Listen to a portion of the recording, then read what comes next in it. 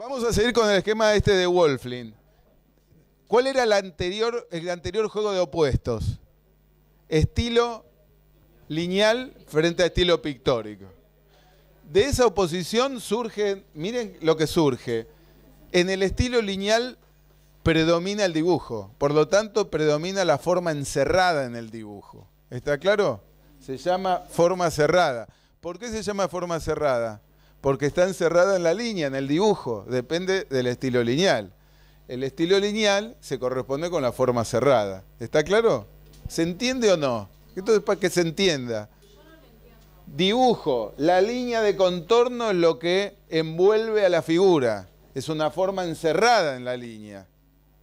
En cambio, en el barroco predomina la forma abierta, no vemos la línea de contorno. Un elemento se mezcla con el otro. ¿Se entiende ahora? Y se entiende por qué dijimos que esto depende mucho del juego de opuestos anterior. El estilo lineal siempre forma cerrada. ¿Esta pintura forma abierta forma cerrada? Forma cerrada. En cambio aquella ven que no vemos la diferencia entre un personaje y otro. Parece que se fusionan. ¿Se entiende ahora? Eso se llama forma cerrada frente a forma abierta. Muy bien.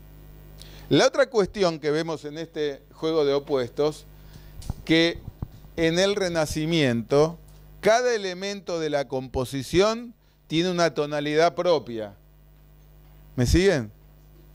La blusa, Rafael solía pintar la blusa bien rojo, bien fuerte.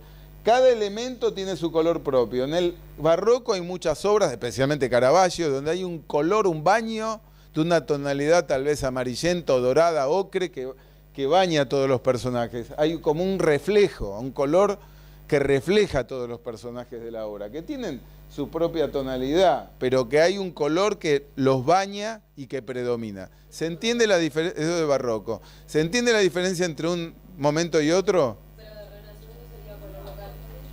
El renacimiento color local, barroco color reflejo.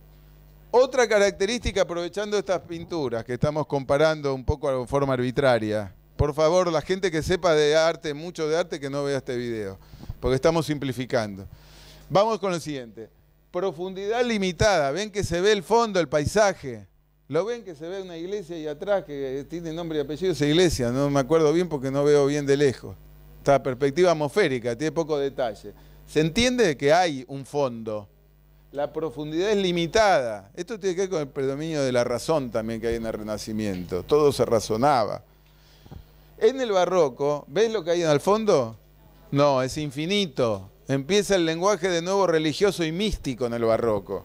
El barroco es el periodo de la historia del arte que responde al espíritu de la contrarreforma católica, donde la Iglesia Católica a través de la pintura va a tratar de expresar conceptos también que tienen que ver con la mística, lo religioso, lo infinito, lo sobrenatural. En cambio, el Renacimiento tenemos figuras santas, pero las vemos con un enfoque que no es sobrenatural, que tiene más que ver con el lenguaje naturalista, ¿se acuerdan, no?